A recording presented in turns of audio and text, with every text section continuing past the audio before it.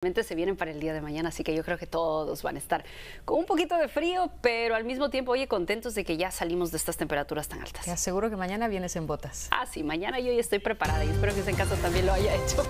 Desde tempranito les vengo anticipando que vamos a estar durante justamente estos últimos días, así que tengan eso en cuenta. Bien, vamos a ver justamente cómo se mantienen las horas, nos vamos a mantener con condiciones bastante eh, calientes todavía esta tarde, si se fijan, temperaturas de 96, 94 grados. Para la noche estaremos descendiendo pero el descenso no va a ser muy notorio. Eso sí, noches muy despejadas y durante el día vamos a tener bastante sol. Así que tengan eso en cuenta. Para mi ciclo, ocupando varios accesorios durante estos próximos días, yo le pido tenga ese abrigo ligero a la mano, zapatos cerrados y prepárese para sentir un poquito de viento en estas temperaturas que están a la vuelta de la esquina. Ya volvemos.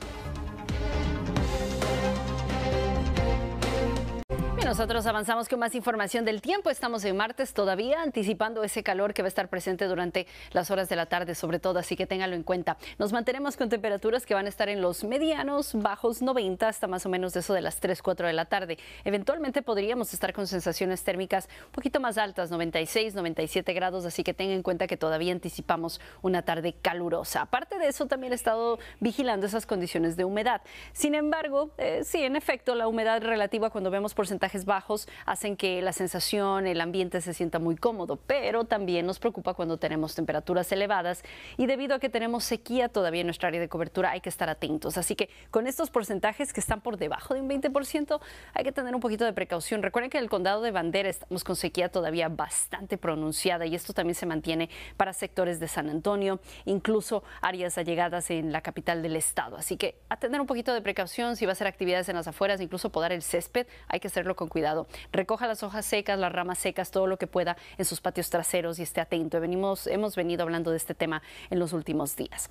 Aquí vienen las buenas noticias, porque sí, en efecto, los cambios llegan para esta noche, madrugada de miércoles, finalmente estaremos viendo el descenso de este sistema frontal. Ahora es un sistema frontal seco, no nos está trayendo actividad de lluvia, pero sí vamos a tener bastante viento detrás de este frente.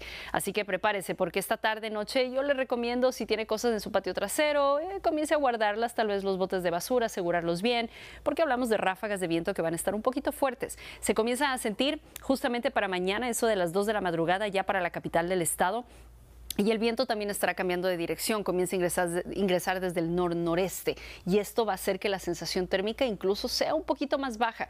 Eh, tenga en cuenta de que para las 6.30, 7 de la mañana aquí en San Antonio estamos con 25 millas por hora, así que los niños en la parada del autobús vaya preparándolos de igual manera para las personas que están en las afueras. Vamos a continuar con ráfagas en el transcurso del día. Miren, esto va a hacer que las temperaturas obviamente se vean mucho más frías. Así que mañana estamos hablando de que la máxima se está registrando en los 77 grados. grados Gradualmente el fin de semana volvemos a esos cómodos medianos 80 grados y esperemos quedarnos en esos números.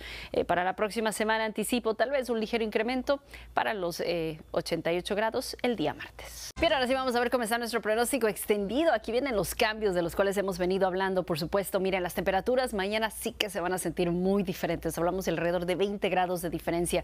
Así que 77 será nuestra máxima aquí en San Antonio, los 80 grados para el jueves. El fin de semana estamos con números un poquito más cálidos, más otoñales sin duda alguna.